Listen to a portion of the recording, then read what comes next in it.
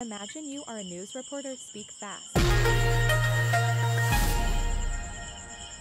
Good evening. I'm Tito Johnson and welcome to your evening news update, bringing you uplifting and intriguing stories from around the globe. First up, in the world of science, astronomers have discovered a new exoplanet in a nearby star system.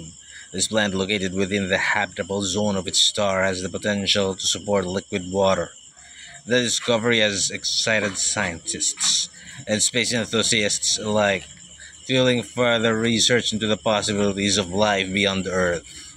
In environmental news, the Netherlands has launched an ambitious project to build floating solar farms. These innovative structures are designed to generate renewable energy without taking up valuable land space. This project represents a significant step towards sustainable energy solutions and reducing carbon footprints. Switching to technology, a startup in Sweden has developed a revolutionary way of, to recycle plastics. Using advanced chemical processes, they can break down and repurpose plastics more efficiently than ever before.